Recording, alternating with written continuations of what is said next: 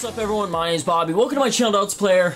Back with the Star Fox Adventures Let's Play in the Volcano Force Point. I always get like tongue-tied there, I keep forgetting what it's called. But uh, yeah, we're getting a new staff upgrade here. This one's super useful. I know we use it like a lot throughout the game. This is almost as useful as your uh, Fire Blaster upgrade for the staff. The Ice Blast. Use it to douse flames and freeze bad guys. You never really have to do that. Yeah, I guess we'll put that on the hotkey just so we can pull that out, because I know we use it a lot. And it does eat up your, uh, your staff power pretty quickly.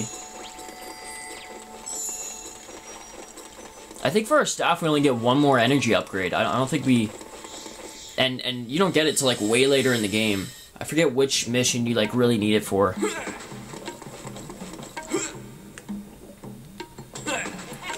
Alright, so... Oh my god, what did I miss? What did I miss? What did I miss? I know that you're supposed to... Oh, yeah. Okay, I was like, I'm like freaking out because I like can't remember like what you're supposed to do. That's like a little elevator that takes you down further into the Force Point Temple.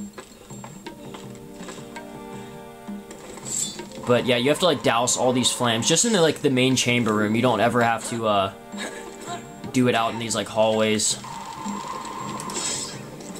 I used to do it whenever I was a kid just to be safe. I never like tested the theory just to see if I like had to or not. I just did it anyway. But yeah, you're kind of on a time crunch because I think these flames are on a timer. You can't wait too long, otherwise they all come back on automatically.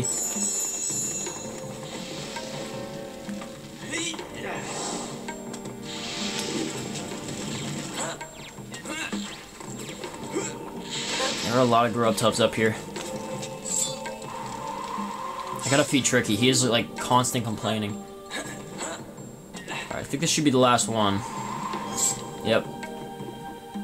So then this comes up, and now we can finally warp. I think after this we can warp to the actual force point.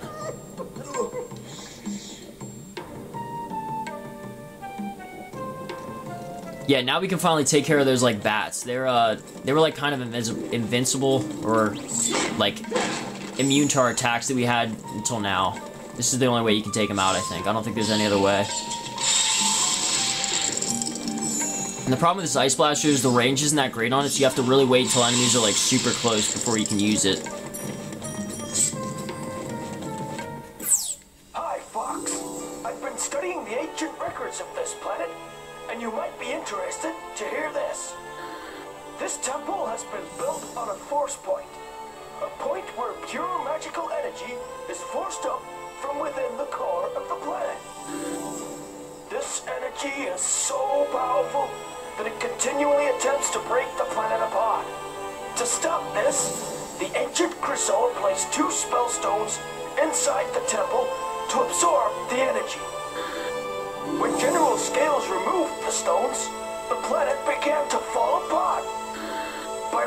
spell stones back to the temple, you will bring the planet together once more. Peppy out. So yeah, now we're finally, like, inside of the volcano itself. You can, like, look out there, like, there's, like, the opening, I guess. And I think this unlocks one of the doors.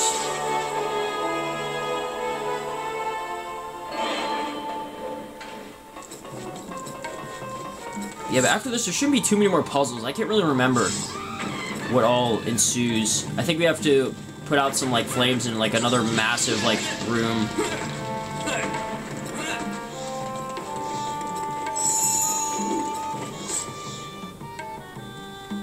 But yeah, the uh, these temples are pretty much like rinse and repeat the entire game. Uh, I know that like the second phase, whenever you come back through here, they do get a little bit more difficult. It's kind of the same puzzles, just with like an added catch. Like it's either timed or color coded or order of operations like reliant.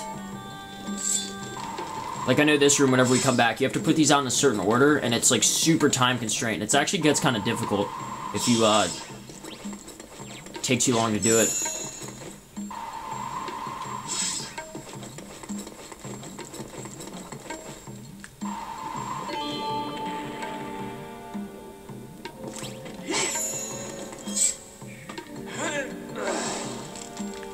Kind of cool that like even whenever you're indoors like this and like the game really gives you no like identification if it's like daytime or nighttime but it's still like like Tricky still falls asleep, like the Grub Tub still falls asleep. Like it's kind of cool. Like it still shows that like the day and night cycle are still happening, even though like you're nowhere near outside.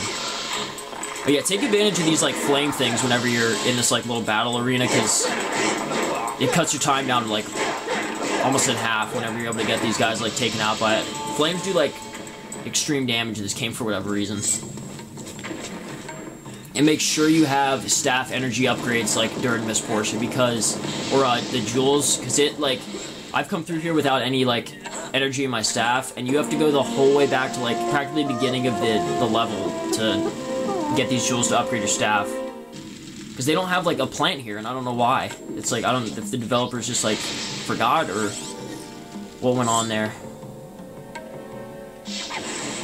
but yeah Tricky's like afraid to come across you just have to like hit these to make them stationary.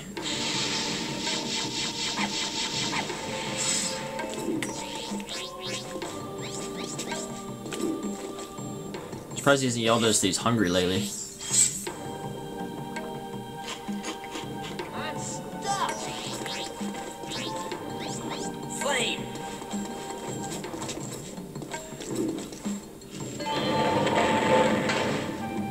Can't remember like any more puzzles that go on in this dungeon. Oh yeah, that's it. I guess. I mean, I I know that for a fact that the volcano is way more simpler than the uh, ocean force point, but still, it's like, man, these guys are ridiculous. Yeah, that was way quicker than I thought it was gonna be. And do not fall down here. You have to go through the entire dungeon again if that happens.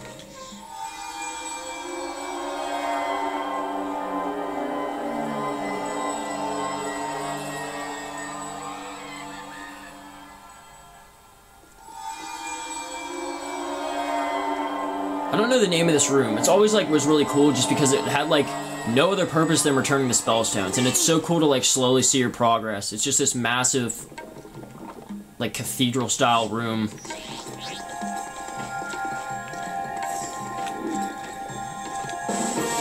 And I guess this is the center of the planet.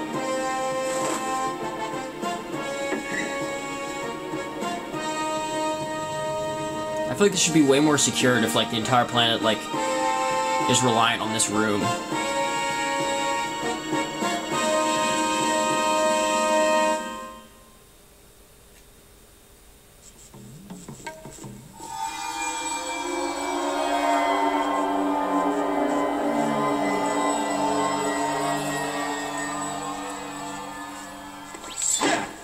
I don't think there's a cutscene here or anytime soon. I know that whenever we get out of the temple, there is one. But yeah, the uh, I know that like there's like smoke things, like they were like pink and purple, like that were coming out of the center of that like I don't know what it, whatever we put the spellstone in. Uh, I know whenever once we get all four, like there's like those go away. I think I'm pretty sure it's those are like the magic that they're talking about or whatever, something stupid that like is tearing the planet apart. Now I just gotta remember how to get out of here.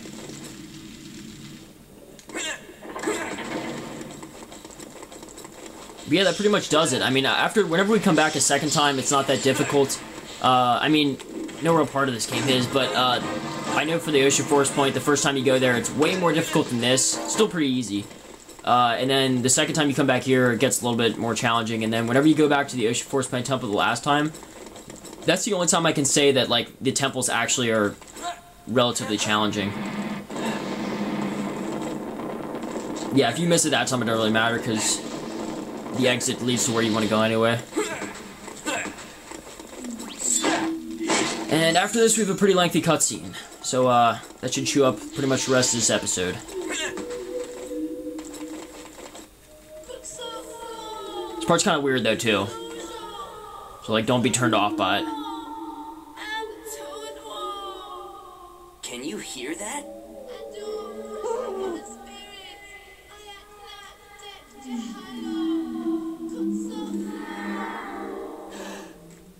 Acrozoa. Do you wish to accept our test? What is it talking about? What test?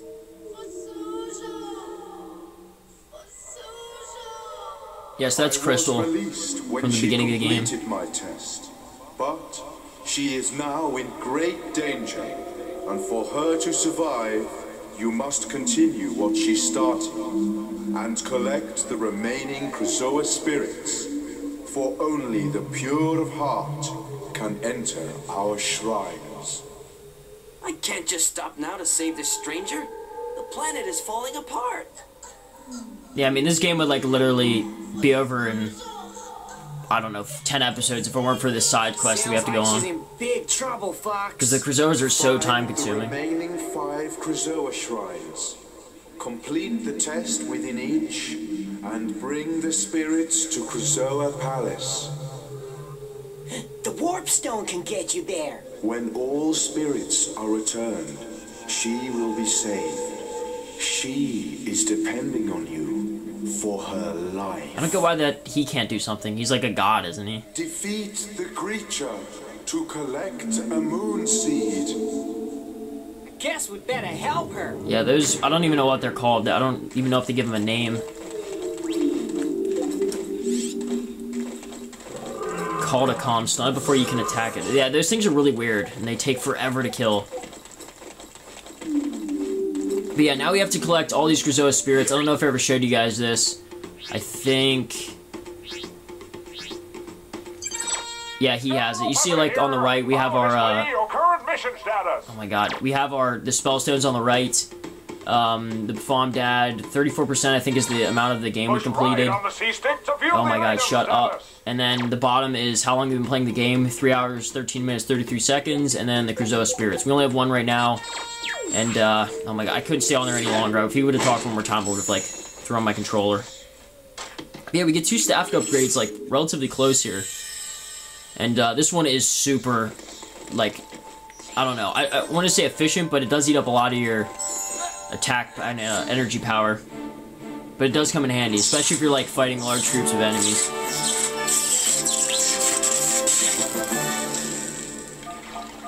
Collected the ground quake.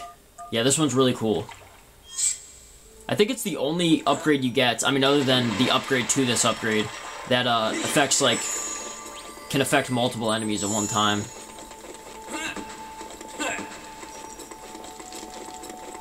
Alright, so I guess I'll defeat this dude. I kind of wanted to get into the past before this episode ended, but I can't really complain.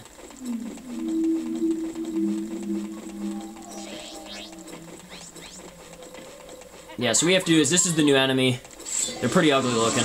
You hit it with this ground quake and that kind of like stuns it, I guess, and then you have to hit its back with uh, your fire blaster. And I think you only have to do it twice. Thank God, because it would take forever if that wasn't the case. Alright, so these are moon seeds. I don't know if they grow on their own because I know if you let them go long enough, like they kind of like start to twitch and like move around. But uh, you can speed up their growth by using Tricky Flank, man. And this this will get us to the pass. Uh, we have to go a super roundabout way to get to uh, the Krazoa Shrine. But yeah, this should only eat up one episode for us to get this, and then we can finally get back on track. Uh, I think our next one is Cloudrunner Fortress. We go down to the Ocean Force Point and uh, Cape Claw. And uh, that's by far my favorite place in the entire game.